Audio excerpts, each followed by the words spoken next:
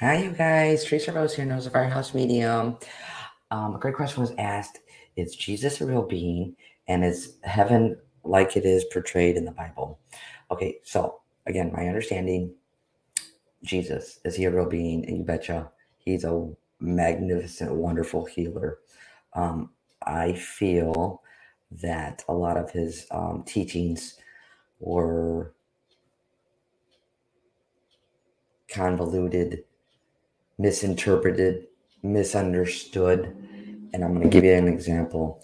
When he says, Follow me, I am the way, not meaning follow me as a person, but follow me, I am the way. I am is the name of God, universe, love, source, whatever you want to call it. I am. So anything that you say after I am is vital. It's very important. That creates your reality. I am. That is your your God self. That's your spirit. That's your soul. I am. So when Jesus said, "Follow me," I am the way. Phenomenal teachings. I feel like they just got misunderstood, misinterpreted. Um, and as far as heaven, um, heaven is again, we all go to the same place we came from, a place of love. It could be whatever you want it to be. And for again, for my understanding, as spirit flows through me, the world isn't much different than ours.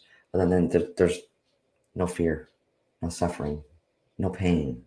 It's all unconditional love.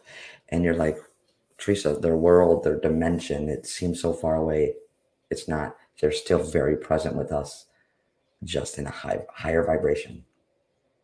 I'm going to hear from you guys drop them in the chats.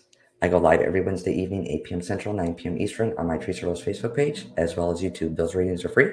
I would love to connect with you guys over there. Have a great rest of your day.